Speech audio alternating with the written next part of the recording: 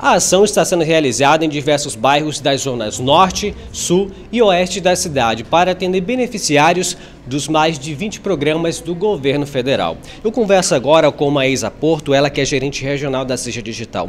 Maísa, por que surgiu essa necessidade de fazer esse mutirão nesses pontos de Manaus?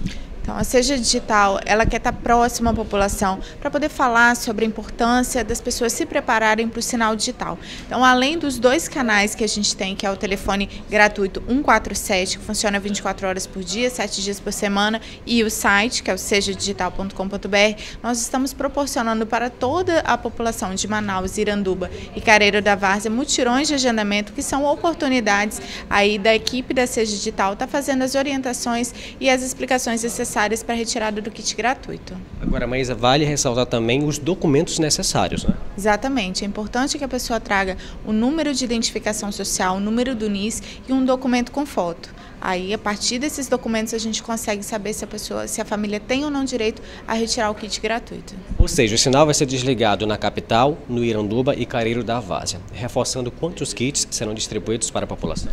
Para os três municípios, Manaus, Iranduba e Careiro da Várzea, estão sendo previstos cerca de 240 mil kits. Então tem kit para todo mundo. Basta as pessoas saberem se elas têm ou não direito, fazer o agendamento, retirar e instalar rapidamente seu kit. É claro que na sexta-feira também esse mutirão vai ser fortalecido também nos demais municípios aqui da região metropolitana. Desde a semana passada, Seja Digital está em todos os três municípios, com, fazendo mutirões de agendamento para poder tirar as dúvidas da população e fazer o agendamento.